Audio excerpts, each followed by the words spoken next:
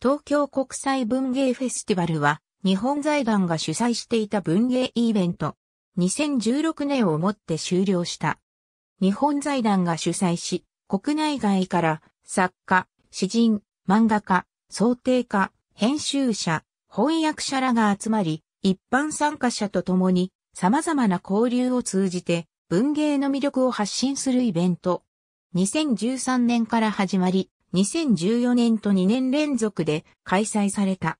2015年は開催を検討中と告知されるも、開催に至らず。2016年は2年ぶりの開催が決定。盛況のうちに幕を閉じた。プログラムは、トークイベント、朗読、絵本の読み聞かせ、ワークショップなどが用意され、大学、美術館、小劇場、書店、カフェ、公演など複数箇所で開催される。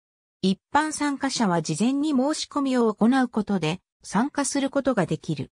第1回では予約開始から間もなく全プログラムが満席となった。